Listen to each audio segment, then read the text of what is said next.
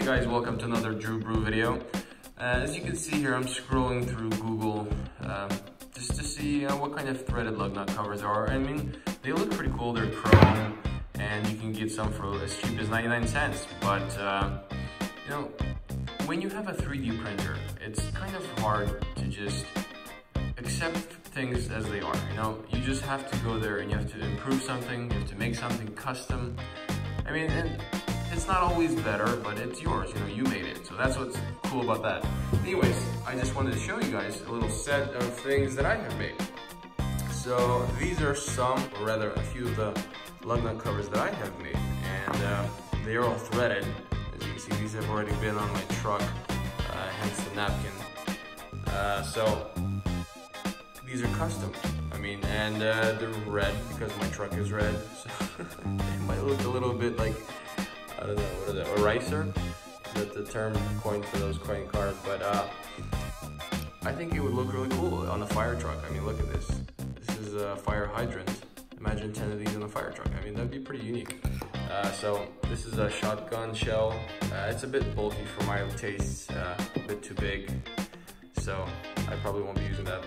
Uh, these are pretty cool. These are designed uh, from the Magnum or 357 Magnum uh, revolvers.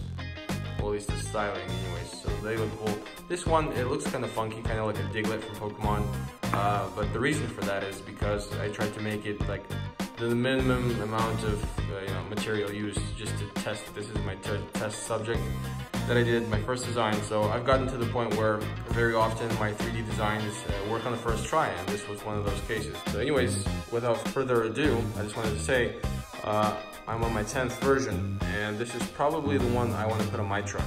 So this is basically a hollow point round, uh, also mixed with the Magnum style design, and it's using as little material as possible, although this one is 100% infill, just because, you know, for outdoor use. I don't know how long this PLA will last, but just as a reference point, look how tall this is. See, it's the same uh, height, so it's using barely any material has some cutouts in there, you know, and at the same time, everything on the inside is 100% infill, all 45 degree angles. So if I printed it just like this, uh, my glass bed, so this is all that was holding on and it holds on just fine. I'm not sure how your printer would do. But if you or a truck driver that you know need some lug covers and they want to make them fancy, I mean, you could print the rainbow for all I know. Um, you know, these things will look pretty cool. And you have this array of options. And I also, I didn't print them, but I designed the classic array. There's like the cone, the cylinder, all that kind of stuff. So if you need one, you know, go ahead, they're free to download.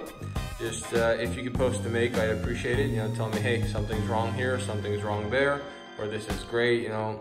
Feedback really helps me improve my design, so I appreciate it. And you guys have fun with these. I'd like to see some on the road.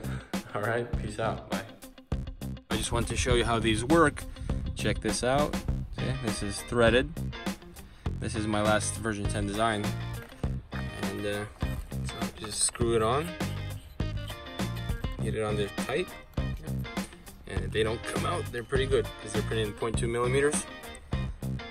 They're great. Yeah. And if you found this video helpful, make sure you leave a thumbs up, share the video, subscribe, that would really help. I'll see you guys in the next one. Bye.